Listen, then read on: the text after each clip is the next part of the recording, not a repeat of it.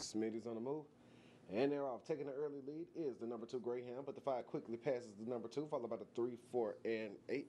Now making their way onto the stretch, the number five Greyhound, Coach Sarah J, still maintains the lead, followed by the two, three, one, and eight.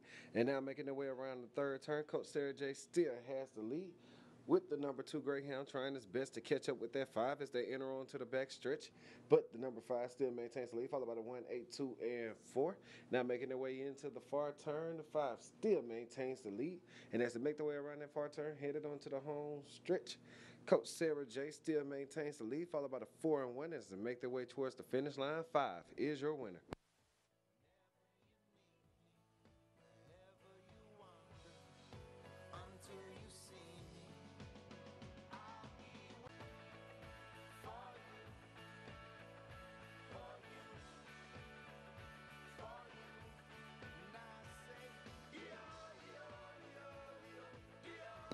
There you have it, ladies and gentlemen. Race number six is official. Your order of finish